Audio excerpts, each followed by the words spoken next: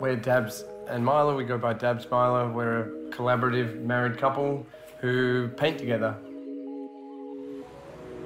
We wanted to come to Sydney to paint a large-scale mural together because we've never painted anything in Sydney before.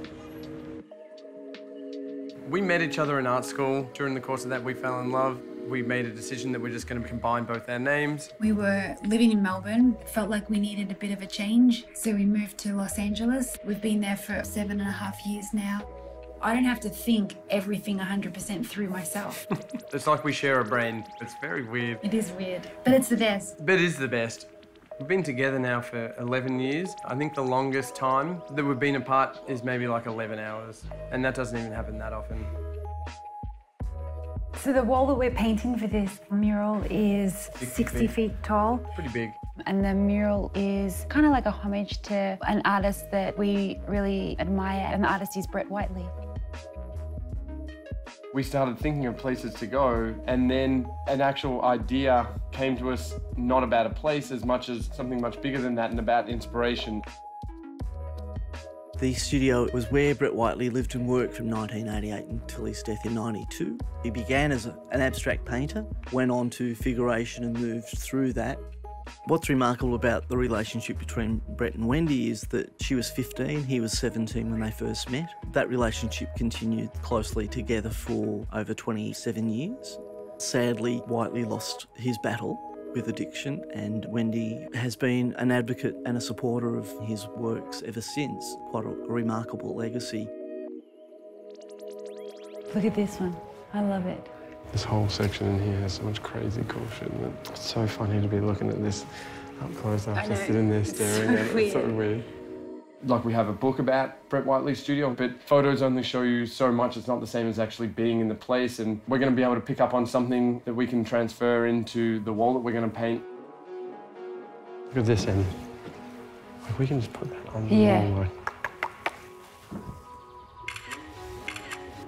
Oh, it's a bottle of wine. It's crazy. Mm, such a sick title too. I know.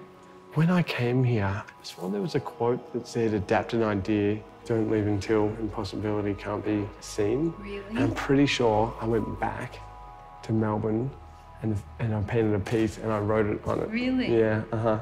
Just seeing someone's work that was so expressive. He used so many found objects in his work. We don't make artwork and put found objects into it in any way. It was more the whole idea that, like, look at this painting, it's got uh, eyeballs and hair and all these crazy things in it. That just opens up your mind to possibilities of what you can do with your art. Whiteley himself said he was a bellbird. If he admired another artist's work or technique, he would adopt it, and through some form of osmosis, it would become part of his own artistic practice. I think he would love the vitality of two young artists being inspired by him. I think he'd be humbled by that. No artist works in isolation, and to respond and pay homage to another artist, I think, is respectful. Having Alec give us all this information that we didn't know about, especially about the painting alchemy, really mind blowing and super inspiring too, I think. We'd forgotten about so many small details, and I think that Brett painted these things in his work to make the viewer really zoom up them and really connect with the work. Inspiration, I think that a lot of the time it comes to you through life experiences. A big part of being an artist is living a life that everything that you're doing is completely immersed Yeah. in being an artist. Every spare moment you have, you're drawing. Totally immerse yourself in what you're doing and work really, really hard. And when you do those two things, the inspiration and the style unfolds itself. Some people are just naturally really good, but that's more like a one in a million. You can't wait and assume that maybe you're going to be that genius. You just work hard at it because that's generally what everyone has to do.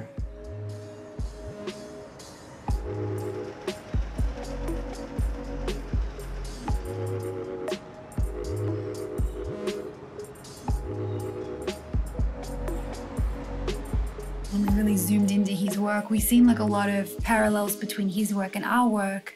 He has a lot of references to pop art, comics. I think the relationship between Brett and Wendy, Uh-huh. in a different way to how we work together, but still, they were the love of each other's lives and they, in a sense, created together.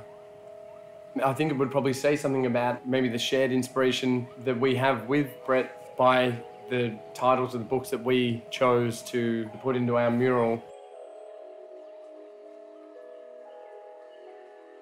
It's a pretty big wall and we have a small amount of time, so if it rained for a day, we would have been in a lot of trouble. We're lucky that there's no huge obstacles and so we're just getting through it. We'll be exhausted at the end of this, but it feels like a huge accomplishment when you get something like this done. Like you put so much energy into it and you don't stop.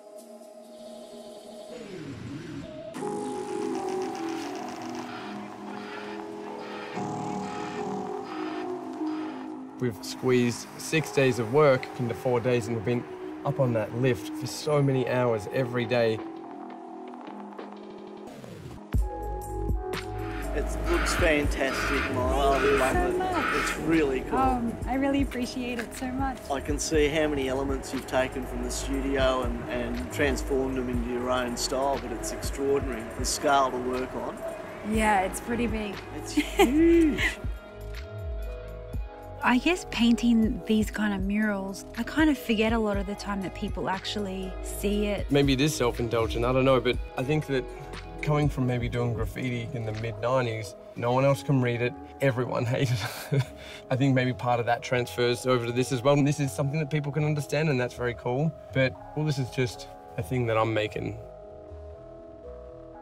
I don't have anyone in mind apart from him that I want to please. If anything, it's about us and Brett Whiteley. Even not even Brett Whiteley as a person, it's about us and his artwork and the inspiration that came from that. It's not even for Brett Whiteley, it's for us. We have an answering voice between us, and so maybe that's why we don't think too much about outsiders. I think it's going to be quite surreal that we were able to accomplish painting this massive wall. Once we're finished here, we'll go back to Los Angeles and we'll think about what is next. As your career progresses, things that you wouldn't even think could be possible become possible, and we need to push ourselves past the point that we thought was the biggest thing that we could do and then go beyond that.